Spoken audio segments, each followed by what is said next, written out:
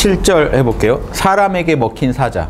요 이런 글들 정말 참신합니다. 도마복음이 영지주의다 헛소리고요. 영지주의랑은 상관도 없는 글이고 그 기독교의 원형이 되는 글이에요. 아까 거기서 빠졌군요, 제가. 교회 얘기하다 멀리 갔어요. 이 얘기 하려고 했던 건데 원래 교회가 가정집에서 그냥 예배 보면 교회 교회였어요. 성도들의 모임. 그러니까 그때 근데 여러분 우리도 그러지만 만약에 모임을 가진다면 믿는 사람들끼리 모였다. 성령의 세례를 받은 사람들끼리 모였다 해도 예수님 말씀 들어봐야 될 거 아니에요. 모인 김에. 그러니까 성경들이 쓰여진 겁니다. 수많은 사람들이 썼어요. 각자대로. 내가 들은 예수님 이야기. 내가 깨달은 바. 막 써서 그걸 돌리다 보니까 제일 먼저 쓰여진 성경이 뭐겠어요? 예수님 얘기는 나중에 나온 거예요. 예수님 얘기를 다 알아서 누가 조사해 주기에는 시간이 그 너무 빨랐어요. 지금 이미 신자들은 공동체를 만들어 가는데 누구 얘기가 제일 와닿아요? 그때 선생님 사도 바울 편지 글이 제일 히트를 친 거예요. 사도 바울이 쓴 편지를 교회마다 돌려보고 뭐 읽으면 감동이 오고 하니까 누군가 한 명이 나와서 이걸 읽습니다. 종이에 써가지고. 그래서 사도 바울 편지들이 제일 먼저 성립된 신약 성서예요. 그래서 그 왜냐 애초에 쓸 때 이미 썼잖아요. 글로 쓴 거를 필사에다가 사람들한테 읽어주면서 읽고 같이 감동하고 그러다가 이제 그 마태복음, 누가복음 이런 거 마가가 제일 먼저다 이런 학설이 현재 지배적인데 마태가 먼저라고 끝까지 또 우기는 유대 유대교 중, 좀 중시하는 분들은 마태복음을 중시합니다. 히브리어로 쓰여진 복음이 있었다라는 주장을 하면서 현재 남아있지 않더라도 원형은 있을 것이다 주장하면서 마태가 먼저라고 주장하는 분들도 있는데 다수 학설은 마가가 먼저다. 그래가지고 그런 복음들이 나오면 이제 복음을 또 읽고 모여가지고 같이 나누고 이 도마복음 같은 거는 그 그렇게 막 이제 널리 읽히고 했던 작품이 아닌 거죠. 이런 작품들 그 당시 읽혔더라도 읽혔더라도 좀 내용이 나중에 들어보니까 좀 문제가 많다. 오해 소지도 많다. 정리가 잘 안 된 것 같다. 예수님에 대해서 잘 설명 못 한 것 같다는 거 빠지는 거예요. 그때 외경, 정경이 나뉘는 거예요. 그냥 두루 교회마다 막 읽다가 나중에 그거를 이제 로마에서 공인하면서 성경도 통일해야지라고 이제 로마 황제가 얘기하니까 딱 한 나라에 한 경전도 딱 하나여야지 잡다하면 안돼 하니까 그때 강제로 나라에서 통합을 한 거예요. 민간에서는 다양하게 읽었는데 그걸 모아가지고 정경을 발표한 거죠. 사대복음을 딱 발표하고 이것만 진짜다 앞으로 나머지는 읽지 마라고 한 거예요. 그러니까 도마 복음은 아무튼 거기에서 이제 못 끼었 못 끼었기 때문에 어, 지금 현재도 외경이니까 위단이다 이렇게 얘기하기 쉬운데요. 어, 이 말씀을 드리고 싶어요. 로마 황제가 성령 받았습니까? 어, 그 밑에 있는 그 학자들이 성경 성령 받았을까요? 성령의 안목으로 딱 했을까요? 어떻게 그렇게 해요? 시켜서 한 거예요. 그러니까 뭐냐? 여러분 안목으로 도마복을 보고 음 이건 성령의 글이군 아니면 음 이건 성령의 글이 아니군 판정을 해볼 기회를 가지셔야 된다는 이런 기회도 갖지 않고 남이 이단이래요 하고 같이 이단이라고 외치면 그게 아버지 뜻인가요? 이, 여기에서 많은 진리가 들어있고 사대복음 못지않게 중요한 성령에 대한 정보가 들어있다면 이건 복음입니다. 그 당시 다 아니 예수님이 마태복음 돌아가신 뒤에 한참 뒤에 나온 건데 마태복음을 예수님이 인가했어요? 사, 생전에 마태복음 음, 나의 감수 마치셨나요? 나의 뜻을 충실히 표현한 복음임. 아니에요. 다 그냥 임의로 정한 거예요. 좀 더 낫더라. 누가 봐도 좀 더 나은 거 고른 거예요, 사실은. 그건 맞는데 도마복음도 그만한 제가 볼 때는 그만한 예, 충분한 어, 보편성이 있다는 거예요. 그러니까 제가 읽어드리는 겁니다. 그 이런저런 사정을 몰라서가 아니라 저는 내용으로 검증하겠다는 내용으로. 분명히 이건 연대가 오래된 글이에요. 도마 복음. 뭐 다른 복음보다 오래됐냐 이거는 아직 물증이 없어요. 심증만 있지. 어록체인 걸 보니 더 오래된 원형인 것 같다. 왜냐하면 여러분 예수님 얘기를 막 스토리로 만들기 전에 뭐 붙어 있을까요? 아 예수님이 한 얘기 뭔가 기록부터 해놨지 않았을까요? 거기에 가깝단 말이에요. 예수님의 말씀 수첩 수첩에 가깝단 말이에요. 그래서 더 오래된 원형 자료일 수도 있다는 의견이 많이 있는 거예요. 김영옥 씨는 이게 반드시 더 오래됐다고 뭐 아주 확실히 주장하시고 근데 막 물증이 확실히 있는 건 아니기 때문에 저는 열어두고 보되 근데 내용이 좋으면 내용이 맞으면 예수님이 진짜 예수님 아니고는 할수 없는 말씀들이 많다면 이건 아주 중요한 자료가 될 수밖에 없다 이겁 그리고 영지주의니 뭐니 이런 거랑 상관 전혀 없다. 그건 영지주의 잘 모르시는 분들이 주장하는 거다. 그건 하도 많이 말씀드려서 그만하고요. 7절 사람에게 먹힌 사자 예수님께서 말씀하시길 사람에게 먹힐 사자는 운이 좋다. 운이 좋은가요? 안 와닿죠. 뭔 말이지? 그 사자는 사람이 될 것이다. 윤회설인가? 막 이러시면 안 돼요. 인도 환생한다는 건가 사자가? 그리고 사자에게 먹힐 사람은 불운하다. 그 사자가 사람이 될 것이다. 어떠세요? 음. 이래서 사람들이 싫어합니다. 아 이거 빼 이거 빼자. 도마보면 이상하다. 인도 환생을 얘기하는 건가? 뭐 이제 불교인가 이럴 수도 있고. 자 보시면 사자는 뭐겠어요? 하나님과 분리된 마음인 욕심. 자 영, 성령입니다. 항상 제가 이렇게 적어드린 게 이유가요. 기억하시라고. 영하고 성령을 같이 적어드리는 게 여러분 영은 성령입니다. 하나님의 영이지 여러분이 뭐 잘나가지고 여러분 독자적으로 영 따로 있고 그러지 않아요. 혼이 따로 있는 거예요. 혼이. 혼이 따로 있고 예, 육이라는 그릇에 담겨 있습니다. 그런데 그런데 이, 이, 이 혼에서 속 사람이 있고 겉 사람이 있습니다. 이렇게 표현하는 게 나을까요? 여기서 한 번 더 층을 나눌 걸 그랬네. 아무튼 이렇게 해볼게요. 오늘은 겉 사람은 예, 육을 따르는 혼입니다. 혼 중에 속 사람 영을 따르는 혼입니다. 그러니까 양심이에요. 속 사람은 그냥 양심이에요, 여러분. 겉 사람은요, 욕심이요. 욕심이 어, 욕심 자체가 죄는 아닙니다. 욕심을 여러분이 만든 게 아니에요. 하나님이 준 거지. 욕심을 갖게 해놨어요. 그 욕심을 어떻게 쓰느냐로 이, 갈리는 겁니다. 죄냐, 이게 이 죄가 아니냐는 욕심 자체가 아니라 양심이 51% 이상 헤게모니를 장악해 주냐 아니냐예요. 그 사람 마음에서. 그럼 욕심이 있어도 죄가 안 되게 됩니다. 즉, 그 욕심으로 인해 해, 를 입는 사람이 없어요.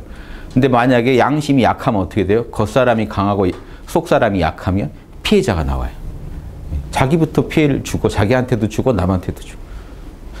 그래서 이 겉사람 속사람을 분명히 구분하시고 보시면 자 겉사람은 욕심입니다. 그래서 사자는 하나님과 분리된 마음인 에고의 욕심을 말합니다. 이 욕심 사자. 사람은 하나님과 통하는 마음인 양심. 그럼 어떻게 돼요? 양심에게 제압된 욕심은 어떻게 돼요? 양심을 어기지 않습니다. 그리고 욕심에게 제압된 양심은 어때요? 욕심 안에서 존재를 드러내지 못합니다. 그러니까 사자가 사람을 먹어버리면 자 욕심이 양심을 먹어버리면 어떻게 돼요? 불운한 거죠. 사자가 사람이 돼버린다는 거는 양심 자리까지 사람이 차지, 욕심이 차지해버린 반대로 사람한테 먹힌 사자는 운이 좋다. 그 욕심은 자기가 이제 자기 뜻대로 주도했으면 악을 저질렀을 텐데 사람한테 먹히는 바람에 어떻게 됐어요? 사람이 돼버렸다는 건 이 욕심도 양심을 위해서 복무합니다. 이해되시죠? 예. 이거 이게 이게 그 뜻이라고 어떻게 확신하느냐? 아니면 좋은 의견을 내주시든지 됐죠? 그래서 아니면 책을 쓰시든지 자, 8절 지혜로운 어부가 되어라. 요거는 기존 복음에 있는 유, 얘기예요. 그런데 맛이 달라요. 보시면 어, 지혜로운 어부가 되어라. 그분께서 말씀하시길 그 사람은 그 사람은 누구겠어요? 하나님 자녀예요. 하나님 자녀. 구원받은 사람. 성령 안에서 구원받은 사람. 거듭난 사람은 어때요? 그물을 바다에 던져 작은 물고기를 가득 잡아 올리는 지혜로운 어부와 같다. 그 어부는 어때요? 가운데 그, 그 가운데 크고 훌륭한 물고기만 딱 물고기 한 마리 발견하면 그거는 그걸 취하고 나머지 작은 것들은 바다에 버린다. 돌려보낸다. 그는 아주 쉽게 큰 물고기를 선택하였다. 여기 있는 사람들 중에 누구라도 들을 만한 기가 있는 자는 들어라. 그러니까 뭘 선택하라는 거예요? 잔챙이를 취하지 말고 큰 거 잡으라는 거예요. 큰 거. 제일 중요한 게 뭔지 알아보는 눈을 가졌다. 지혜로운 어부라면 이게 이- 이거를 왜 비유로 들었느냐? 그 당시 사람들이 생생하게 안단 말이에요. 물고기 잡으면 작은 것들은 더 크라고 돌려 보내주고 큰 것만 딱 취한단 말이에요. 그거 다 알잖아요. 그러니까 하나님 자녀는 누구랑 같냐? 어부랑 같다. 어부 중에 지혜로운 어부. 초짜 어부들은 막 엉뚱한 짓 할 수 있죠. 작은 물고기 막 많이 잡아서 질보다 양이다 막 이런 주장할 수도 있지만 딱 정확히 아는 사람은 핵심만 취하잖아요. 본말을 알고 우선순위를 아는 사람이죠. 그래서 하나님 자녀는 딱 취할 것 그걸 취하고 취하지 말아야 될 것들은 다 버리는 사람이다. 들을 귀만한 귀- 누구라도 들을 만한 귀가 있는 자는 들어라. 그러니까 귀가 뚫린 자는 들어라. 근데 이게 우리가 이게 이- 지금 다 귀 뚫린 것 같지만 뚫린 게 아니에요. 들으면 못 알아들어요.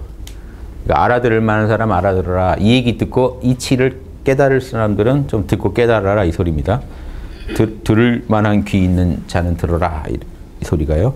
자, 그 어, 기존 복음엔 어떻게 되는지 보실래요? 마태복음 13장 47절에서 50절인데 하나님의 왕국은 바다에 그물을 던지는 어부와 같다. 어부가 왕국이라는 거냐? 그런 뜻은 아니에요. 성경의 이 표현들이요. 되게 좀 말이 많이 생략된 말이에요. 하나님 왕국에 대해 내가 얘기해 줄게. 어, 하나님 왕국에 대한 이해를 하려면 그 어부를 먼저 이해해야 돼. 어부 알지 어부 이런 식으로 얘기가 간 거예요. 하나님 왕국을 내가 설명해 줄 텐데 어부 알지 어부.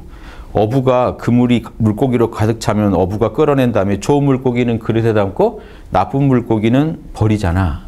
세상 끝날 때도 그래 이겁니다. 천사들이 의인과 악인을 딱 가려놓고 악인들은 불구덩이에 던져버려. 그때 이를 갈며 막 울부짖을 것이야. 막 저주하고 막 자기가 여기 떨어진 것에 대해서 그때 가서 너 뭐라고 하지 마 이런 얘기죠. 그때 가서 너 이 갈고 막 울부짖고 해도 소용없어. 그러니까 천국에 대해서 정확히 알면 너희는 본질적인 걸 택할 수밖에 없어 이 소리입니다. 천국이 어부라는 건가 이게 아니고 천국에 대해서 얘기하실 때 꼭 이렇게 얘기하세요. 천국은 겨자씨 같아. 그러면 어, 바로 겨자씨가 천국에 해당되는 경우도 있는데 이렇게 해당 안 되는 경우도 많아요. 천국은 그 얘기는 내 천국에 대한 비유를 들어줄게 하면서 어부 알지 어부 이러면서 시작한 거예요. 어부 어부가 물고기 잡으면 이렇게 하잖아. 천국 아는 사람은 이렇게 해. 그걸 풀어놓은 겁니다. 그래서 저기 이그그 사람에 대해서 한번 좀 설명해 놓은 거 보실래요? 각주 3번. 하나님의 왕국을 깨달은 사람을 말하고요. 그 사람은 즉 늘 성령의 천국 안에 거하며 사랑 안에 진리, 아니 사랑의 진리를 따르는 사람. 그 성령 안에 거하면서 성령은 진리의 영이죠. 자, 보세요. 이렇게 살아가는 사람이란 거예요. 성령 안에 거하면서 성령의 진리를 아니까 성령의 진리를 다른 이름으로 이제 사랑의 진리. 천국에 살면서 천국의 법을 따르는 사람. 근데 이미 천국이라는 말 안에는 천국의 법이 구현 아니 성령의 법, 천국의 법이 구현된 나라가 그 영토 개념이 그 통치권이 확립돼야 영토예요. 어, 그러니까 그 물질적 영토만 생각하지 마시라고요. 그 사람의 통치권이 확립된 곳. 그러니까 성령의 법이 구현되는 곳이 천국이거든요. 그래서 천국과 성령의 현존이라고 하면은 이미 성령의 성령과 하나가 되고 천국에 살고 계신 거잖아요. 그런데 거기에 천국의 법이 분명히 있죠. 그래서 이게 둘이 아니라는 거예요, 이게. 따로 있는 게 아니에요. 법이 구현된 곳이 천국이기 때문에 천국에 살면서 법을 모를 수가 없단 말이에요. 그럼 천국의 법을 알고 그 천국의 법, 성령의 법대로 실천합니다. 그런 사람을 뭐라고 해요? 빛의 사람. 이렇게 살아가는 분은 빛의 사람입니다. 이 반대로 살아가요. 성령의 현존 대신에 뭐가 있어요? 에고의 현존 속에서 에고의 계시가 와요. 살아, 질러라. 그 분석을 대충 하고 이거 하면 죽이겠다는 분석을 한 뒤에 실천해 봐요. 하고 나면 낭패를 보고 다시 돌아가요. 에고의 현존. 다시. 어떻게든 해봐라. 다시 또 해보고. 그래서 탐진치만 점점 커지는 방식. 좌절되면 분노가 커지고, 탐욕도 계속 또 이 과정에서 커지고, 분노도 커지고, 어리석음도 같이 커져요. 왜? 점점 이상한 생각을 하거든요. 그러니까 이 시야가 좁아지기 때문에 이상한 생각을 하게 돼 있습니다. 어쩔 수 없어요. 그래서 아무리 똑똑해도 탐진치 동하면 이상해지는 겁니다. 저 사람 저렇게 안 봤는데 갑자기 어, 어리석은 소리를 하고 사리 판단 못하고 이럴 수 있어요. 사람 탐욕이 동해버리면 어리석어집니다. 탐진치가 그렇잖아요. 어리석으니까 탐이 나고 또 탐을 내니까 어리석어져요. 여러분 지금 다 현명하시죠? 지금 저기 저기 여기 막 강의 듣고 막 토요일 날 나는 이런 도담을 듣는 게 너무 좋아. 지금 저기 제가 저기 밖에 BTS 왔는데요. 그러면 몇 분 남아 계실까요? 강의야 뭐 다음에 들어도 되지. 유튜브로 듣겠습니다 하고 당장 더 급한 게 그게 없으니까 여러분 지금 이렇게 안정 안정적. 자 이걸 생각해봐요. 내가 지금 평안한 거는 내 욕망이 충족이 안 돼서 사실은 지금 적절히 안 됐기 때문에 오히려 내 마음이 진정돼. 탐나는 물건이 안 보여서 지금 내 마음이 진정돼 있는 거다. 그러니까 자만하면 안 돼요. 보이면 견물 생심. 견물한 순간 끝나는 거. 견물 생심. 실천. 분석 실천. 견물 생심. 땡깡 실천. 어떻게든 사람들한테 우겨서라도 난 그거 해야 된다고. 해야죠. 이렇게 돌아갈 수도 있다. 재밌죠? 그러니까 우리가 이렇게 또 점점 뺄 수 있는 거는 그렇게 탐지치가 좀 진정돼 있고 이렇게 이 성령과 진리의 그 빛에 더 이렇게 예민해져 있는 거잖아요. 그러니까 속 사람이 더 강건해져 있고 겉 사람이 지금 힘을 잃고 있죠. 근데 겉 사람이 강해지면 어떻게 돼요, 여러분? 사자한테 잡아먹혀요. 그래서 사자가 돼 버려요. 그럼 그 말이 뭐 아까 아까 지나갔는데 또 좋은 생각이 나는데 사자한테 먹혀서 사자가 되면 뭐라고 뭐라고 할까요? 욕심의 화신이 되죠. 사자가 돼버린 거죠. 욕심 그 자체가 돼요.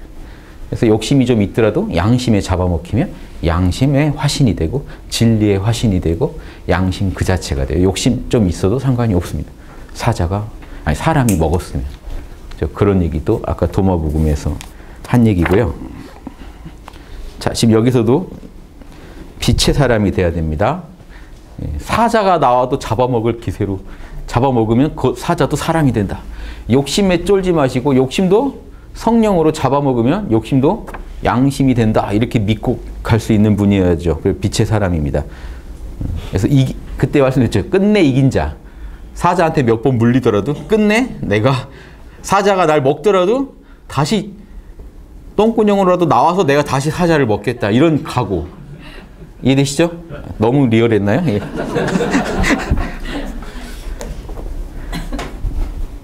자, 세속의 지혜가 아닌 영적인 지혜를 갖추고서 자, 빛의 사람은 성령의 지혜를 갖게 돼 있잖아요. 성령의 지, 성령의 지혜. 성령으로부터 진리의 직관을 얻기 때문에 성령의 지혜를 가지고 어, 세속의 지혜가 아닌 영적 지혜, 성령의 지혜를 갖추고 양심의 자명 찜찜 신호에 따라 양심적인 것과 부하, 비양심적인 것을 식별할 수 있으며 그래서 언제나 양심적인 걸 선택할 수 있다. 오, 죽이네요. 제가 왜 이 얘기를 했냐면 이, 이 글은 예전에 써놓은 글인데 요즘 제가 이거 만들어서 하는 거랑 또 똑같이 써놓은 거 보니까 참 제가 제 거 보고 놀래고 그랬어. 무한 루프에 빠져 있구나. 그때 그때 막 새로운 생각인 줄 알고 막 했는데 예전 글에 그대로 써 있는 걸 보고 또 놀랐습니다. 음, 이렇게 설명하면 좋죠. 자, 이해되시죠? 그래서 현명하신 어부가 되셔야 됩니다. 자, 뭐가 더 큰 물고기예요? 성령. 항상 성령을 선택할 수 있습니다. 항상 양심을 선택하고 작은 물고기는 뭐예요? 네, 네, 욕심. 욕심을 어, 욕심을 좀 내려놓을 수도 있는 욕심을 내려놓을 때 욕심이 우리는 성 에고는요 욕심이 성취돼야 진정될 수 있다고 믿어요. 현명한 사람은 욕심을 내려놓을 수만 있다면 욕심을 내려놓으면 바로 평화가 오고 진정이 온다는 걸 알아요. 그래서 우리가 욕심을 성취해야 되는 경우도 있지만 욕심을 성취하더라도 양심의 헤게모니를 잃지 않는 범위 내에서 성취하고 그리고 작은 물고기 잔챙이 욕심들은 그냥 좀 내버릴 수도 있으면 몰라 괜찮아로 자잘한 욕심들은 날려버리시고 그럼 현명한 어부입니다. 그리고 꼭 해야 될 욕심은 성취하되 어떻게 해요? 사람이 사자를 잡아먹듯이 양심 속에서 욕심을 성취하자. 그러니까 욕심을 성취하되 그게 누군가한테 피해가 되지 않게 나도 좋고 남도 좋게 항상 그렇게 돌리자. 그러면요 누군가가 욕심을 성취할수록 주변에서도 좋아합니다. 저 사람이 월급을 타면 꼭 술을 사. 그래서 그 사람이 월급 많이 받기를 제가 기도해요. 옆 사람이. 이 정도 되면 이게 뭐 술은 악 아닌가요? 이렇게 뭐 불편너들처럼 굴지 마시고 인생에 뭐 행복한 게 얼마나 있다고요. 예, 건강 덜 상하는 범위 내에서는 적절히 다 하셔야 돼요, 여러분. 그렇죠? 뭐, 뭐 천년만년 삽니까? 그런다고? 적절하게 애고도 즐겁게 해주셔야 돼. 다만 양심이 주가 되면 된다. 자 여기까지 했고요. 진도 무섭게 나가고 있죠 벌써. 9절 씨를 뿌리는 자. 이것도 있어요. 마가복음에 있는 구절인데 보세요. 들어보시면 알 겁니다. 예수님께서 말씀하시길 보라 씨를 뿌리는 자가 씨를 한 움큼 집어들러 집어들고 나가서 뿌림에 어떤 것들은 길 위에 떨어져서 새들이 와서 먹어버리고요. 다른 것들은 돌 위에 떨어져 가지고 흙 속에 뿌리를 못 내려서 결실을 못 맺고 또 다른 것은 가시덤불에 떨어져서 가시덤불에 막히고 벌레들한테 먹히고요. 그런데 또 일부는 좋은 땅에 떨어져서 결실을 맺는데 60배, 120배가 되었다. 좋은 말씀이죠. 자, 요 얘기를 그 마가복음 4장 3절에서 8절에 뭐라고 했냐면 보세요. 들어 들어보라 씨를 뿌리는 자가 나가서 씨를 뿌리며 어떤 것들은 길 위에 떨어져서 너무 똑같아서 읽는 맛이 없네요. 새들이 와서 먹어버렸고 어떤 것들은 돌 위에 떨어졌고 그래서 흙이 깊지 않아서 싹이 못 나가 아, 싹은 났는데 뿌리가 없어서 말라버렸고 좀 맛이 다르죠. 더 디테일하죠. 마가복음이 또 어떤 거는 가시덤불에 떨어져서 열매를 못 맺었고 어떤 것들은 좋은 땅에 떨어져서 싹이 나고 자라서 열매까지 맺었다. 이렇게 이게 이게 좀 이렇게 구분해 놓으신 거네요, 예수님은. 그렇죠? 도리에 떨어진 놈들은 싹은 났는데 뿌리를 못 내렸고 가시덤불에 떨어진 애들은 뿌리를 내렸는데 열매를 못 맺었고 근데 좋은 땅에 떨어지니까 싹도 나고 자라서 열매까지 맺었다. 어, 치밀하게 얘기를 하신 거예요. 지금 도마복음이 대충 적었네요. 그렇죠? 원래 제 얘기 듣고도 지금 대충 적는 분 있죠?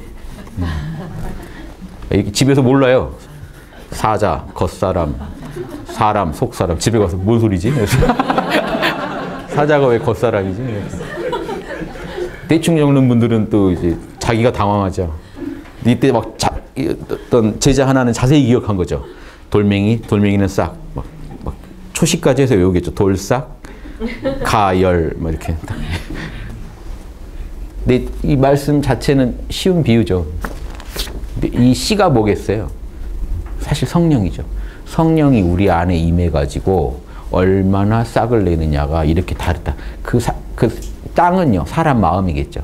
사람 마음에 진리의 영이 임해가지고 그 진리, 하나님의 말씀이 그 사람 안에서 얼마나 구현되는가. 결국 그 영이란 건 진리 영이기 때문에 그 성령의 빛이 우리한테 임해도 그 빛 속에서 진리를 보고 그 빛으로 진리를 보고 진리를 구현해내야 내가 60배 뭐 120배로 열매를 맺는 거 아닙니까? 좋은 열매를 맺고 자, 좋은 작품을 만들어야.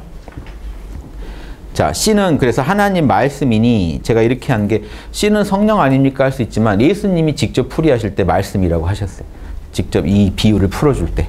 그러니까 성령 안에 담긴 말씀이라고 이해하시면 되겠죠. 씨는 하나님의 말씀이니 하나님의 진리란 얘기입니다. 우리의 하나님의 영, 성령 안에 새겨져 있는 하나님의 형상, 하나님의 법, 사랑의 진리, 양심의 진리이다. 이 진리 안에 안주하여 진리를 실천하는 것이 바로 성화의 핵심이다. 지금 성화를 얘기하시는 거예요. 성령 받아도 이런 거예요. 성령을 받아도 보세요. 성령을 받았는데 성령의 현존에서 성령의 그 진리를 직관했는데 거의 지워져 버린 예. 성령의 진리를 성령 성령의 진리를 내가 알았는데 알았는데 그걸 가지고 내 삶에 적용해 가지고 실천해 봤냐 이거죠. 예. 그럼 어떤 사람은 어때요? 성령이 나한테 임했는데 싹이 나났다 하는 거는 어 계시도 받았는데 더 안 해버려요. 분석도 안 해버려요. 누구는 좀 자라서 열매까지 맺었 열, 열매를 자라긴 했는데 열매를 못 맺었다는 거는 그 느낌대로 막 분석은 해서 좀 따지다가 지금 여기다 갖다 붙이면요 좀 따져보다가 안 해요. 막 혼자 막 책에다 분석해 놓고 분석 훌륭한데 그리고 살 때는 어떻게 살아요? 견물생심으로 살아요. 딱 여기까지만 열매를 못, 못 맺었죠. 자 열매까지 맺은 사람 실제로 그렇게 산 사람이 그럼 이 사람은요 뿌린 대로 거두리라는 하나님의 공식대로 열매를 거둬들일 수밖에 없습니다. 자기가 원치 않아도. 그러니까 하나님은 모든 곳에서 보시니까 남 보이는 데서 자선하고 막 기도, 멋진 기도 하려고 말 멋있게 하고 남들 보는 데서 자선하고 남들 보는 데서 막 굶고 막 그 굶으면서 힘든, 힘든 모습 보여주고 남한테 되게 처절한 고행한다는 걸 보여주려고 이런 거는 정죄받는다고 했단 말이에요. 대가는 다 대가를 받더라도 정죄받을 것이다. 천국은 못 간다 이 소리입니다. 그런데 남이 모르는 곳에서 해라 그랬죠. 남이 모르는 곳에서 자선하고 남한테 보여주려고 하는 게 아니라 그건 뭐죠? 자기도 모르게 자선하라고 했잖아요. 오른손이 한 거 왼손이 모르게. 하나님은 그거 다 하신다는 거예요. 즉 성령의 뜻대로 이렇게 살으라는 겁니다. 실제로 뭐, 뭐 오른손이 한 걸 왼손이 어떻게 몰라요. 근데 실제로는 뭔 얘기냐? 성령 안에서 욕심이 올라와도 양심이 잡아먹으면서 진리를 구현하면 그 성령의 인도로 금식을 하건 기도를 하건 자설을 하건 그건 다 열매를 맺겠죠. 왜 성령의 인도로 필요에 따라 했으니까. 그러니까 예수님도 금식을 주장하는 분이 아닌데 어떨 때는 금식하시죠. 성령에 이끌려서 광야에 가서 40일간 금식하실 때는 하시잖아요. 그럼 그 열매가 또 풍성합니다. 그런데 성령이 금식하라고 안 했는데 하늘이 금식하라고 안 했는데 지가 괜히 금식을 해야 하나님이 이뻐하지 않을까? 천국에 가려는데 너무 먹을 거 다 먹고 가는 건 좀 아니지 않나? 그래서 금식 식단을 만들고 있으면 하늘이 볼 때 한심한 놈이죠. 예수님이 그건 아니라고 합니다. 그건 정죄받는다. 그런 꼼수 부린 건 반드시 대가를 그 열매를 또 치르게 된다. 하나님을 속이려 한 대가를 치르게 된다. 이제 이런 식으로 이해하시면 이해가 쉬우실 겁니다. 그래서 지금 이건 성화다.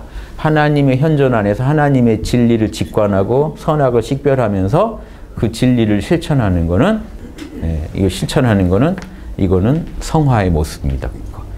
성령만 칭의는 여기거든요. 성령 안에서 안주하는 거. 성령 안에서 안주하면서 직관까지 가요. 직관까지 가지만 싹은 나, 난다고 볼 수 있겠죠. 싹은 나도 칭의죠. 싹의 싹의 단계가 칭의입니다. 싹은 나도 거기서 금방 말라 죽어 버린다는 건 거기서 더 이상 하나님의 진리에 대한 어, 그런 고민도 안 하고 실천도 안 한 거죠. 그럼 거기서 말라 죽어버리고 누군가는 그걸 열심히 해가지고 열매까지 맺고 이렇게 이해하시면 좋겠습니다. 만약 그대들이 나 이게 성화예요. 칭의만 얘기하고 있는 게 아니에요. 성화예요. 그렇게 해야 거룩해진다. 그래야 성화까지 돼야 진짜 성도입니다. 보세요. 성도에서 성인성자 쓰잖아요. 성도에서 지금 성인성자 씁니다. 성스러운 물이라고. 그럼 성자들의 물이란 소리예요. 성스러운 사람들의 물이에요. 근데 이 성자가 붙으려면 어떻게 된다고요? 요게 무, 무한 루프 속에 빠져서 이 진리의 무한 루프에서 살아야 그나마 성이 된다니까요. 성화, 거룩해진다고요. 그 칭의는 성화 전에 칭의는 아직 덜 하나님의 자녀입니다. 그러니까 하나님 자녀라고 도장만 받았지 지금 그러니까 씨앗만 받았지 제대로 배양을 못한 거예요. 지금 이런 얘기는 한국교회에서 아주 싫어합니다. 성화, 성화 주장하면 아주 싫어합니다. 이건 내가 뭔가 거룩해져야 되잖아요. 하나님을 믿고 끝내는 걸 좋아하지, 칭의도 교회 다니면서 칭의 됐다고 생각하는 거예요, 그냥. 실제로 성령을 받아서 칭의도 아니에요. 심지어 성의를, 아니, 그 성령을 받아서 칭의가 돼도 문제입니다. 성화가 안 돼서 또 문제인데, 지금 그런 무슨 논의를 해볼 기반도 없어요. 한국 교회는 지금. 그래서 누군가가 성화가 중요하다 그러면 바로 공격합니다. 기독교 안에서. 네가 감히 하나님의 구원의 계획을 네가 감히 좌지우지. 네가 꼼수다. 서로 네가 꼼수다. 네가 꼼수다 싸우는 거예요. 믿으면 구원받는다. 그게, 그게 꼼수라는 거다. 성화해야 된다. 그게 그게 네 생각이다. 하나님이 구원해 주기로 했으면 구원하시는 거지. 왜 네가 뭘 거룩해진다고 난리냐. 서로 오해를 막 해가는 게 정확히 알면 그런 말이 필요 없습니다. 이거 안 되면 가짜야. 성령을 성령을 받았는데 여기까지 자동으로 안 나온다. 어, 그 사람은 그 예정자가 아닙니다. 아니란 증거입니다. 예정자라면 나와야 돼요. 성화까지 가야 진정한 하나님 자녀입니다. 왜? 그래야 성도라고 말할 수 있어요. 거룩한 무리. 거룩해지는 법을 배우질 않았는데 교회 다니는 분들은 본인, 본인만 혼자 거룩해요. 셀프 거룩이죠. 와 거룩해. 와 거룩해. 그러니까 그것도 하나님 만나서 그런 것도 맞아요. 왜냐하면 마음을 몰아가다 보면 뭔가 신성과 접속이 일어납니다. 그러니까 이게 마, 맛은 살짝 봐요. 근데 정확히 몰라요. 그러니까 하나님의 현존이 내 안에서 어떤 일을 못 한다고. 역사하실 기회를 안 줘요. 잠깐 접속하고 혼자 감정 뽕에 빠져서 막 하나님 또 은혜 받았다고.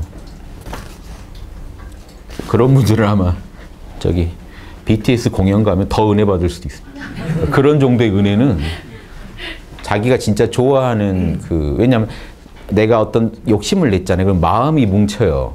내가 뭔가 원하는 것에 염체가 만들어집니다. 그래서 날마다 생각하잖아요. 점점 그 염이 빛나요. 내 안에서 힘을 가져요. 원래 교회에서 믿으세요, 믿으세요 하는 게 그 염을 만들으라고 하는 거예요. 성령이 아니라 자기가 염을 만들어요. 그래서 자기 마음 안에 큰 믿음을 만들어 놓고 위안을 받는 시기예요. 이거는요, 임시 방편이에요. 그것 또한 성령의 작용이다고 말할 수도 있지만, 어, 성령이 아주 격가집니다. 그건 자기가 자기 마음의 힘을 키워놓고, 근데 우리가 하는 모든 건 성령의 작용이기 때문에 사실은 거기에 성령이 응해요. 응하긴 하지만 내 위주로 만들어진 그 하나님에 대한 믿음입니다. 이거는 힘이 약해요. 진짜 힘들어지면 날아갑니다. 그런데 진짜 배기 이 성도들은 다이렉트로 하나님을 봐요. 중간에 상을 안 만들어요. 다이렉트로 만나요.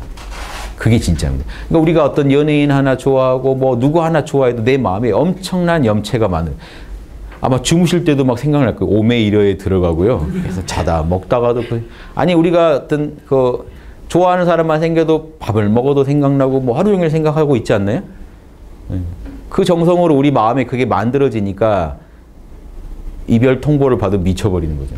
자기 우주가 붕괴하거든요. 내 마음 안에 그 정도 힘을 갖는 염체가 돼버린 거예요. 근데 그게 진리가 아닐 경우에는 위험하다는 건데 그게 오히려 독이 될 수. 잠깐은 위로를 받는데 실체가 드러날 때는 왜냐 내 위주로 만든 염체니까 벌써 남하고도 얘기를 해보면 달라요.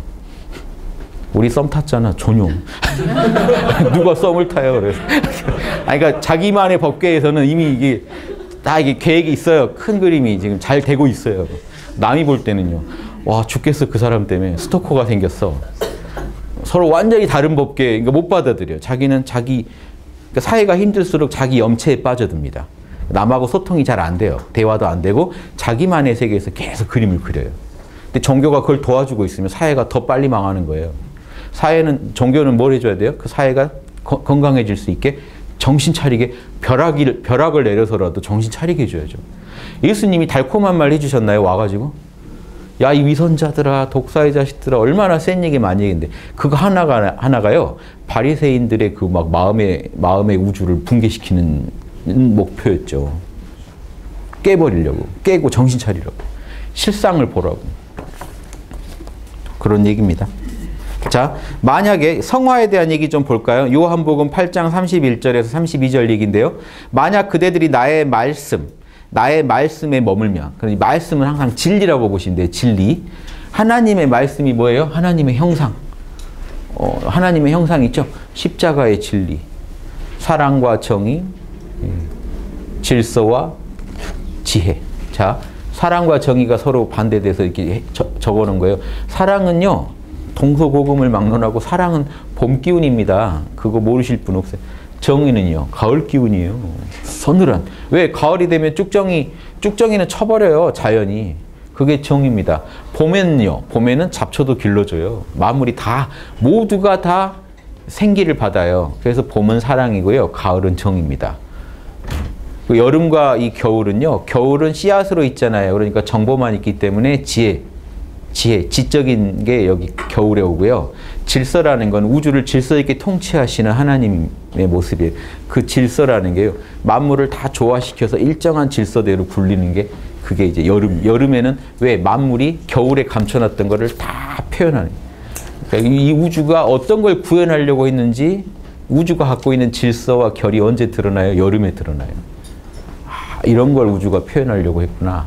그런데 그 서로 표현을 조화롭게 다 표현해야 되니까 조화롭게 해야 되니까 여기 질서와 조화까지 하면 더 맞는 덕목입니다. 질서와 조화. 그래서 인간 이거 하나님 안에서는 하나님의 진리는 이렇고 인간 안에서 얘기하면 사랑과 정의, 지혜와 여기에 겸손을 넣어주는 게 좋아요. 그 질서에 대한 순응. 하나님의 질서에 조화를 이루겠습니다는 순복 순응이 저 자리에 맞아요. 하나님 입장에서 질서라고 하는 게 우주를 통치하는 질서 자리고요. 그러니까 이 정보대로 통치하는 겁니다. 실제로 질서. 여기는 겨울은 안 움직이지만 여름은 모든 만물이 다 자기 속을 드러낼 때이기 때문에 표현이 중요해요. 여름의 덕목은 질서 있게 표현하기, 조화롭게 표현하기. 그래서 인간한테는 그러니까 하 늘에서도 조화가 중요하고 인간한테도 조화니까 겸손과 조화 이렇게 하는 게 맞고 하늘 입장에서는 질서와 조화 이렇게 표현해 주는 게 하늘과 인간의 차이를 생각한다면 더 이해가 되실 거예요. 그래서 하나님 형상대로 산다는 게 뭐냐? 어, 질서 있게 산다. 그게 뭐냐? 조화롭게 산다는 거고, 겸손하게 산다는 거예요. 남하고 나를 다 맞추면서 모두가 각자 자신의, 어, 그, 자신의 그 사역을 할 수 있게 도와주는 거죠. 다 우리 모두 하나님의 자녀니, 너도 하나님의 뜻을 구현하고, 나도 하나님의 형상대로 살아가겠다. 이런 게 이제, 이런 게 질서죠. 조하고. 그래서 알아야 조화를 이루고, 사랑을 또 하고, 정의를 하는 게 균형을 이뤄야 하나님의 뜻이 구현됩니다. 근데 저런 진리를 언제 아느냐? 성령의 현존 안에 있다 보면 알아지겠죠. 자, 성령의 현존 안에 살다 보면 자동으로 뭐가 알아져요? 이게 한 번에 알아지지 않아요. 성령은 모든 진리를 다 알고 있겠지만 나한테 계시되는 거는 그 중에 일부예요. 그렇죠? 아무리 여러분이 그러니까 칭의를 이뤄서 성령 안에서 성령의 불이 24시간 안 꺼져도 성령이 알고 있는 모든 지혜가 나한테 다 오는 게 아니라고요. 사도 바울이 받은 지혜가 다르고 예수님이 받은 지혜가 다르고 일반 성도들이 받은 지혜가 또 달라요. 계시되고 있는 게 달라요. 그 지혜 그 수준이 결국은 이게 근본인데 이 중에 사랑에 대해서도 우리가 조금씩 알아가게 되고 정의에 대해서 알아가게 되고. 근데 성령의 현존 안에 있지 않다면 사랑을 이 옳은 사랑은 정말 옳은 거야. 사랑해야 돼. 정의로워야 돼. 지혜로워야 돼. 남과 조화를 이루어야 돼라는 걸 우리가 알 수 있겠냐는 거죠. 몰라요. 예. 저 무의식 중엔 알고 있어요. 왜 우리도 성령 안에서 사니까. 하지만 에고가 막아버려요. 견물생심. 야 남의 거 내 거 다 따지다가 어떻게 어떻게 살라고 그래? 어. 이제 막 자기 합리화가 일어나고 그런데 성령 안에서 딱 보면 계시가 정확하죠. 어, 이건 자명, 이건 찜찜. 이렇게 살아가다 보면 보세요. 이런 게 일회성으로 이루어지는 게 아니고 무한하게 우리 삶에서 구현돼야 되죠. 그러다 보면 아무리 어리석어도 계속 이런 식의 살다 보면 어느 날 선명히 알지 않겠어요? 하나님은 뭘 원하신다, 뭘 싫어하신다, 이거 모르겠어요? 바보가 아니면요, 알아요. 바보도 알 수 있어요. 왜 내가 이걸 할 때 하나님이 날 때리더라. 이걸 하면 잘했다고 하더라.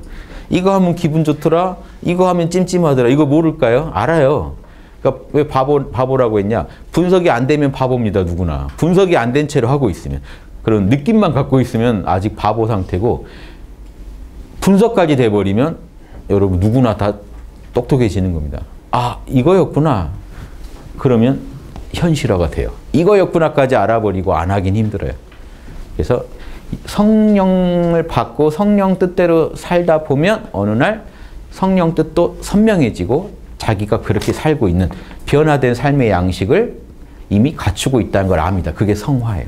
여기까지 오, 여기까지 오는 법을 지금 가르쳐야 될 곳이 원래 교회고 교회 가면 저기 어려서 입문부터 계속 이것만 가르쳐야 돼요. 성령 받는 법. 자, 성령 안 받은 사람은 참 나오면 빨리 끌고 가서 성령. 몰라 하라고 하고 뭐 안수 기도 기도 아니 기도 싸주고 뭐 다 해줄 수 있어요.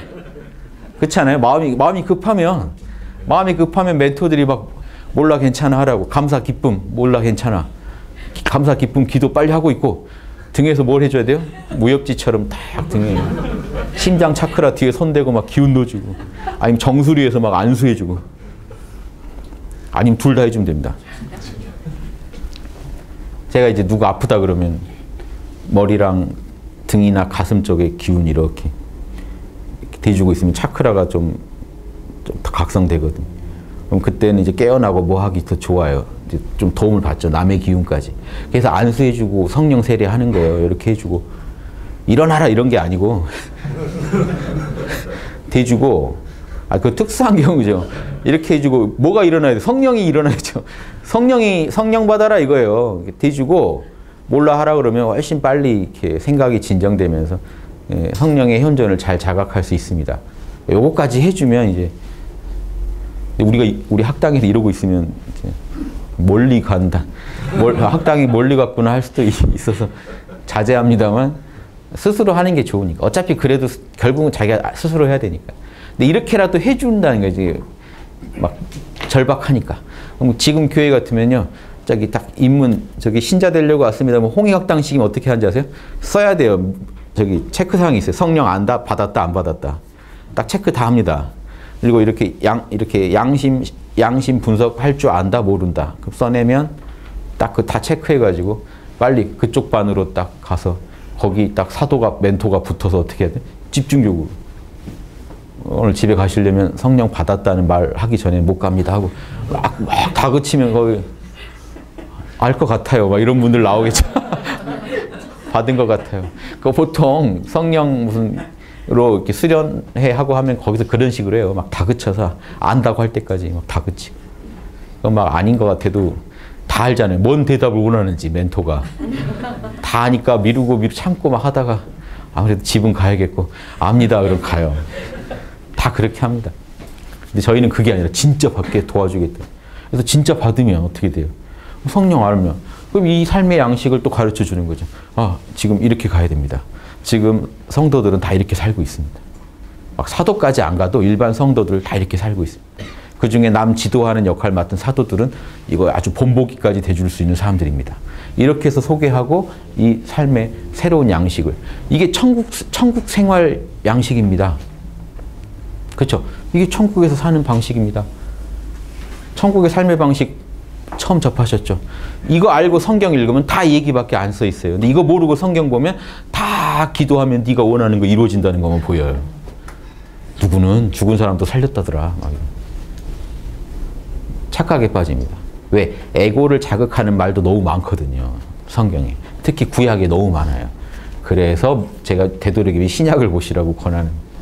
근데 이거 이, 런 삶을 사시는 하나님의 자녀, 빛의 자녀라면 구약을 봐도요.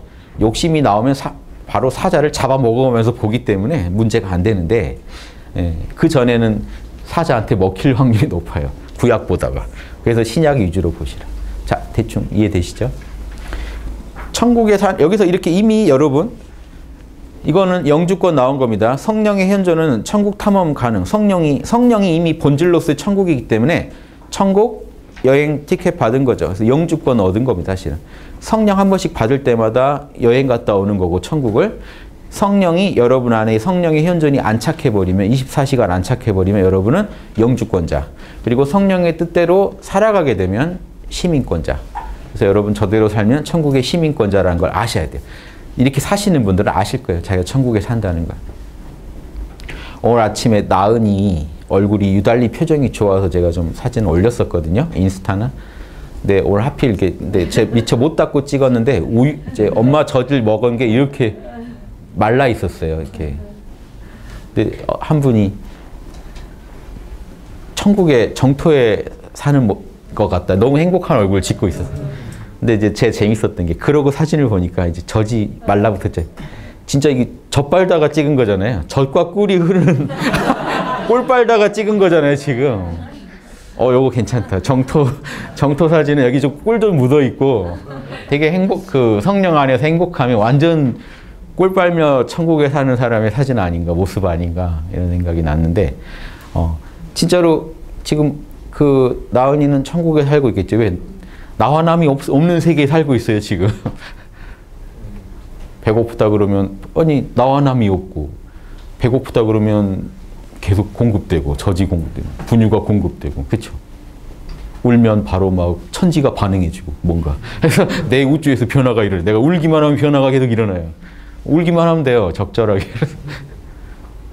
천국이죠. 근데 이거는 천국에 천국을 닮은 거고 진짜 천국은 성령 안에서 그렇게 성령 안에서 성령한테 맡기고 성령의 뜻대로만 살면 나는 영원히 안식을 얻고 보호받을 수 있다는 그 지금 그 아이가 엄마 안에서 보호받듯이 나는 지금 엄마 아빠가 나를 온전히 보호해주고 있다. 성령 부모님이. 이렇게 생각하고 살 수 있으면 천국이죠. 그 기분 들어야 돼요. 실전적으로 안 들면 그만큼 천국에서 벗어나 있고 어떻게 보면 지금 이를 갈고 계신 상태일 수 있어요. 억울하다. 난 나만 지옥에 떨어졌다 지금. 지옥이 나중에 떨어지는 게 아니라 지금 괴로움은 지옥이죠. 지금 내가 지옥 불구덩이에 떨어졌는데 신은 어디 있느냐? 하나님은 어디 있느냐? 그럴 수도 있죠. 그런 것도 생각해 보시고. 아, 여기, 여기까지만 빨리 하고 치죠. 만약 그대들이 나의 말씀에 머물면 이게 유명한 구절이죠. 진리가 너희를 자유롭게 하리라. 이게 성화예요. 내가 아, 내, 가 한 그 말 사랑의 진리 그 예수님이 내 말했다고 안 했잖아요. 나는 하나님 말씀만 전했지. 그럼 뭔 얘기예요? 사랑하라. 사랑의 진리 나 그것만 얘기했다. 제일 중요한 건 사랑이다. 사랑, 정의, 지혜, 질서 중에 제일 중요한 건 사랑이다. 사랑하라고 나는 전했다. 그 말에 머물면 이 소리는 하나님의 형상에 머물면 자 성령 안에 있는 하나님의 형상에 머물면 자 글이 잘 안 보여서 다시 쓸게요. 자 예, 진리 직관입니다. 근데 이 진리는 뭐예요? 성령의 진리예요. 성령의 영이니까 그래서 이 하나님의 진리 안에 머물면 이 소리가 성령 안에 머물면이죠 사실은. 성령 안에 진리 안에 머물면. 그럼 여기서 여기, 여기 까지만 머물면 아니라고요. 쌍만 난 거지. 그 진리를 분석하고 진리를 실천까지 해야 여기까지 다 했을 때 안주라고 할 수 있죠. 진리에 안주한 거 아닌가요? 성령에만 안주하면 안 된다고요. 진리에 안주한다는 말을 따로 써주는 이유가 성령에 안주하면 칭의 성령에만 안주하면 성령 안에 있는 진리까지 이해하고 구현하면 진리의 안주. 그게 성화입니다. 성화의 다른 표현이 진리에 안주한 거. 성령에 안주하면 칭의. 그래서 육체까지 영적 육체까지 얻으면 영화 이런 거예요. 그 진리에 안주하면 질 그 뭐죠? 진리에 안주하면 진리를 알면 진리가 그대를 자유롭게 할 것이다. 그 이미 진리에 머물면 말씀에 머물면이 먼저 나오죠. 그게 진리에 안주하면이에요. 내 말씀에 안주하면 진리에 안주하면 성령 안에서 진리를 정확히 알 것이니 진리를 알아야 너네가 자유로워질 거다. 이 얘기는 실천까지 다 들어있는 있는 거예요. 진리를 알고 그대로만 살면 자유를 얻을 수 있다. 선악 식별이 자유자재한데 자유죠. 여러분 삶에서 힘든 게 매 순간 인생의 선택의 기로에서 어떤 게 올바른 판단인가 이걸 이것 때문에 힘든데 선악을 정확히 알아버리면요. 아버지 뜻대로 그냥 판단하면 그만이에요. 쉬워요. 뭐가 어려워요? 내 뜻대로 판단하려니까 어려워요. 내 뜻대로 하려니까 이것도 난 좀 얻었으면 좋겠고 어, 이것도 얻고 싶고 이것도 갖고 싶고 이게 너무 많으니까 매 순간순간 그 많은 내 욕심을 가지고 결정하기에는 정보가 부족하거든요. 그래서 점을 칩니다. 정보가 없거든요. 아니, 내 욕심은요, 다 누구나 또, 어, 현상계에서 제일 중요한 건 뭐예요? 이게 이, 진리기도 하지만 아무튼 이게 진리기도 하지만 돈, 돈. 돈이 제일 중요하잖아요. 현상계에서는. 의식, 의식주를 다 뭐로 해결해요? 돈이요. 그러니까 이 돈이 많았으면 좋겠잖아요. 일단. 여러분, 딱히 당장 목표가 없을 때는 돈이 많은 게 일단 목표죠.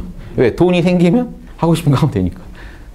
내가 하고 싶은 거 하려고 해도 또 이게 필요해요. 결국은 이, 게 제일 중요합니다. 현상계에서는. 그러니까 이 세속의 진리는 이게 제일 중요하다라는 얘기를 해줘요. 이것도 진리입니다. 이거 세속의 진리는 가짜란 게 아니에요. 삶의 어느 한 면만 얘기하고 있어서 문제인 거지. 이게 제일 중요하다. 이거 맞아요. 그런데 영적인 면까지 고려하면 성령이 중요하다. 그래서 우리가 두 개를 다 볼 수 있는 게 중요하다 하는 거지 세속의 진리를 부정하시고는 못 삽니다. 그래서 제가 이렇게 말씀드리는 게 선악만 따져서 사시면 돼요 하면 요원한 얘기처럼 들리실 수 있다는 거예요. 아니 어떻게 그래 내가 하고 싶은 것도 이루어야 되고 그러면 돈도 있어야 되고 돈도 벌어야 되고 나한테 유리한 것도 찾아야지 어떻게 선악만 판별하고 살 수 있어. 근데요 그런 걸 다 전제한 겁니다. 그런 걸 다 전제해서 선한 것. 즉 돈을 벌어도 얼마큼 벌지 어디까지 벌지 어떤 방식으로 벌지 이것도 선악이 결정한다니까요. 그러니까 모든 걸 선악을 보면서 내 욕심 이걸요 하나님한테 솔직히 다 까발린 다음에 그 중에 하나님이 인도하는 제일 자명한 방식으로 내 욕심을 성취하면 된다는 거예요. 욕심을 누르자는 게 아니라 욕심을 성취하는 방식이 가장 선한 방식으로 우리가 성취하는 게 옳다. 근데 나는 그것도 인정 못 하겠다. 그러면 그냥 고등 침팬치로 사시는 거고. 그런데 나는 욕심을 욕심을 무시하는 건 아니지만 내 욕심을 성취할 때 이왕이면 하나님 보시기에 좋은 방식으로 성취하고 싶다. 그러면 하나님하고 타협을 해야죠. 선악만 식별하면 하나님이 나머지는 모든 걸 다 책임져 준다. 이게 예수님이 오직 하나님 나라와 정의만 구해라. 그럼 의식주 다 해결시켜 준다. 그게 뭐예요? 돈 문제도 해결해 준다는 얘기예요. 이론상이 진리면서 돈도 이론상이고. 이거 하나로 다 해결됩니다. 돈도 벌고 도도 닦자. 원불교에서 영육상전이 이겁니다. 돈도 벌고 도도 닦자. 그걸 딱 동그라미 하나에 에고도 문제, 에고 문제도 해결하고 양심 문제, 참나 문제도 해결하자. 다 해결할 수 있는 답이 거기 다 있다. 원망구족하게 다 있다. 성령 안에 다 있다. 그런데 사람들은 뭐만 바래요? 교회에서 돈이요. 완전히 반대되어 있는 거예요. 예수님 제자가 아닌 거예요. 예수님은 선악 식별에만 너, 너, 너가 매몰되면 하나님이 나머지 다 도와준다니까 이거예요. 아버지 뜻대로 돈 벌려고 노력하면 도와준다니까. 그런데 내 뜻대로 돈 벌려고 하면 안 도와준다니까. 이 얘기인데 아니 아버지 그래도 돈도 벌어야죠. 그러니까 아니 내 얘기를 못 알아듣는 거야. 아버지 뜻대로 하나님 나라와 정의를 먼저 구하면 다 도와준다니까 이 얘기예요. 돈을 벌더라도 어떻게 해요? 양심적인 방식으로 벌으라고. 그러면 그리고 하늘한테 결과를 맡기면 너가 생각한 거 이상의 결과가 나온다니까. 네 뜻에 딱 맞는 결과가 나오는 게 아니라 예, 다 해결되게 도와준다니까. 하나님 보시기에 좋은 방식으로 해결돼. 하나님이 널 죽이겠냐 이거죠. 동물도 다 옷 입혀주고 식물도 옷 입혀주는 하나님이 너 굶주리게 하겠느냐? 먼저 하나님 뜻대로 너가 욕심을 성취하는 방식을 익혀라 이겁니다. 그게 이겁니다. 이렇게 구체적으로 얘기를 안 해주면요. 헷갈리실 것 같아서 제가 좀 자세히 말씀드린 거예요. 선악만 따지고 살 수 있다고요? 또 이러신다고요. 여기서는 또 여기, 여기 기운에, 음, 맞다 하고 집에 가면, 어? 이상한데? 선악만 식별하라고? 아닌데? 이렇게. 그럼 사람이 밥은 어떻게 먹어? 밥을 선하게 먹으라는 겁니다. 돈을 선하게 벌으라는 남의 거 짓밟고 벌지 말고 자 보세요. 경제도 그래요. 아니 경제가 이럽니다. 어, 경제 경제 활동의 목표가 뭡니까? 돈을 버는 겁니다. 그런데 재밌는 거는 돈과 도가 둘이 아니라니까요. 돈을 잘 벌려면 어떻게 해야 돼요? 남한테 서비스를 제공해야 돼요. 남을 도와야 돼요. 남을 도와줘야 남이 많이 도움을 받는 만큼 돈을 더 많이 내놓습니다. 그렇죠? 그럼 서로 깨끗하잖아요. 근데 내가 사기를 쳐가지고 돈을 번다. 그럼 남한테 해를 끼치면서 나는 돈을 많이 벌었잖아요. 그럼 대가를 치러야 된다는 거예요. 이게 지금 선악 식별입니다. 돈을 어떻게 벌 거냐도 선악으로 따져보시면 나온다. 아, 내, 내, 내, 내가 만든 제품이 다른 사람들을 행복하게 해주면서 나도 그 대가로, 그 공덕으로 이윤을 얻으면 좋겠다. 그, 그리고 그 이윤을 얻더라도 내가 한 거 이상으로 얻는 거는 원치 않는다. 또 누군가 것을 뺏는 게 될 테니까 난 내가 한 것만큼 딱 바, 벌고 싶다. 이분은 도인이잖아요, 이미. 이분이 그냥 경제인 같으세요? 도인이에요. 훌륭한 경제인은 도인입니다, 사실은. 성령 받은 사람이라야 진짜 이런 훌륭한 경제인의 길을 걸을 수 있습니다. 안 그러면 중간에 잘 가다가 사탄의 유혹에 빠져요. 여기다 기름을 넣어버릴까? 막 이런 이상한 행 라면에다가 좀 이상한 걸 넣어버릴까? 못 먹는 기름을 좀 넣어버릴까? 뭘 해버릴까? 이렇게 하면 싸다니까요. 아파트 지었는데 아파트 벽 부수는 거 봤더니 쓰레기 다 넣어놨더라고요. 공사장 쓰레기를 벽에 딱 넣어놨습니다. 확장 공사 한 대를 부서, 붙는 거, 부수는 걸 봤는데 저도 말로만 늘 들었어요. 건설, 건설업 하시는 분들한테 그렇게 한다고. 근데 진짜 보니까 진짜 쓰레기 싹 버리고 왔더라고요. 알뜰하게. 그분은 어땠을까요? 쓰레기를 확장 공사한 벽에다 쓰레기 넣을 때 어땠을까요? 이야 이게 딱 여기 딱, 딱 맞네 하면서. 아버지가 날 돕는구나. 막 쓰레기가 어떻게 놓으니까? 다 맞아요. 딱 와 역시 내가 아버지 뜻대로 일했다. 이러실 수도 있죠. 그런다니까요. 우리가 욕망을 막 성취하다 보면 돈에 눈이 멀면 하나님 나라를 버립니다. 하나님 나라를 보고 가다 보면요. 여러분 삶 자체가 풍족해지고 남한테 그 도움을 주기 때문에 성공을 하시더라도 박수 받는 성공을 할 수가 있어요 이왕이면 이렇게 해야지. 이게 지금 하나님 자녀의 생각이죠. 그러니까 현실하고 혹시 아주 동떨어진 걸로 이해하실까봐 제가 말씀 좀 드렸어요. 높아심 때문에. 모든 더러운 것은 너, 더러운 것과 넘치는 악을 버리고 그대들의 영혼을 구원할 힘을 지닌 여러분 안에 심겨진, 심겨진 말씀을 그 여러분 안에 말씀이 심겨졌다는 건요. 성령이 여러분 안에 있어서 그래요. 성령 안에 새겨진 겁니다. 원래 말씀이. 성령 안에 새겨진 말씀이 여러분의 혼에도 새겨져야 되겠죠. 예, 그렇죠. 그러니까 애초에 원래는 어디 새겨져 있어요? 성령에. 그러니까 성령을 받아야 성령 안에 새겨진 하나님 말씀이 우리 혼에도 새겨지는 거예요. 자, 아시겠죠? 자, 영의 영의 성령에 새겨져 있는 이 진리의 도장이 이 혼에도 찍혀야죠. 그러니까 혼의 성령의 진리가 혼에 온전히 새겨지는 것을 성화라고 하는 거예요. 혼도 성스럽게 살아가게 되는 그 경지. 그래서 그 말씀, 사랑의 진리를 온유하게 받아들이십시오. 그대들은 말씀을 실천하는 자가 되어야 됩니다. 말씀을 듣기만 하여 자신을 속이는 자가 되지 마십시오. 듣기만 하고, 성령 안에서 듣기만 하고, 하나님 말씀을 듣기만 하고, 자기 혼에는 안 새기고 실천도 안 해버리면 엉터리죠. 그러면서 나는 구원받았다고 합니다. 칭의. 난 이미 의로워졌다. 성령이 내 안에 임했다. 그럼 성령이 너한테 뭐라고 하시드냐? 선을 하고 악을 하지 말라고 하시지 않더냐? 어, 나도 그 말 들었다. 근데 안 한다. 그렇죠. 그럼 분석도 안 하고 실천도 안 한다.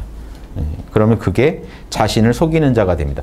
칭의를 받고도 하나님 말씀을 듣고도 하나님 말씀을 따르지 않는다면 하나님 말씀을 모르는 자보다 더 처참할 것이다.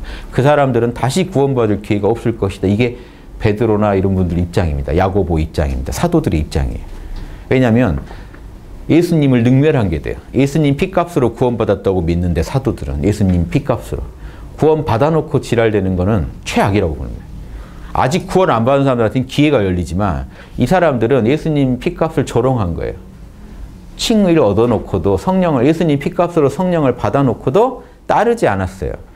이 사람은 더 처참한 벌을 받게 될 것이다. 이게 사도들의 입장입니다. 이건 이제 야고보의 입장인데 야고보서 어 1장 21절에서 22절 말씀입니다. 자 여기까지 하고 야고보서 이게 하나 더 남았는데 10분 좀 충분히 쉬었다가 다시 시작하겠습니다.